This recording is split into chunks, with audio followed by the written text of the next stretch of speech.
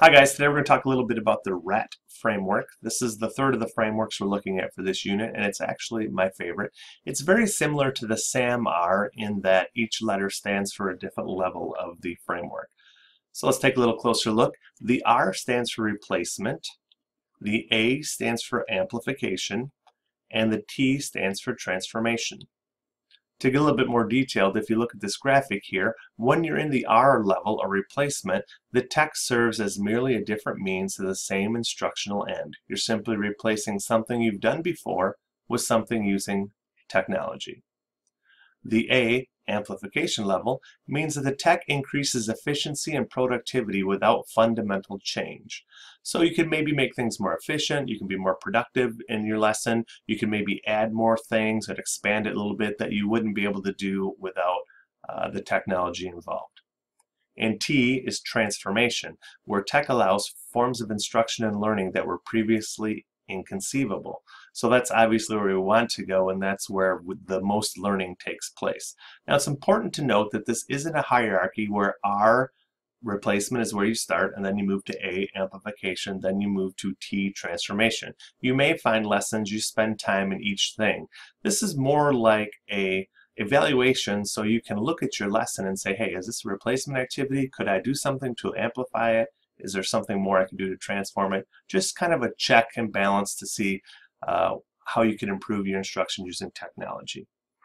Let's look at an actual example here. This is a social studies standard example from Michigan 2018 standards uh, 7.2.3. World War II analyzed the causes, course, characteristics, and immediate consequences of World War II by explaining the causes of World War II, including the aggression and conflict appeasement that led to war in Europe and Asia. So that's the standard we're looking at a lesson.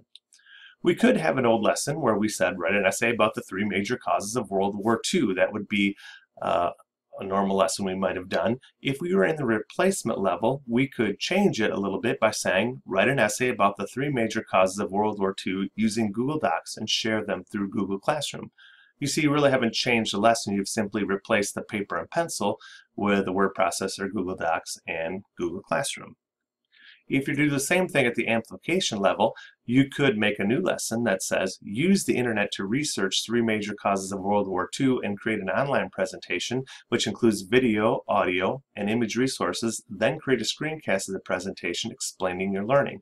You can see that you've taken that uh, that essay and you really advanced it because now the kids are creating an online presentation that includes video they found on the internet, maybe some audio speeches and some image uh, resources. And then on top of that, they're going through the presentation, making a screencast and explaining what they learned about it.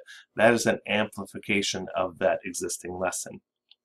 For the transformation lesson, you might say that uh, the kids, instead of uh, doing the essay, are going to participate in an online World War II simulation using this particular website that I came across a while ago.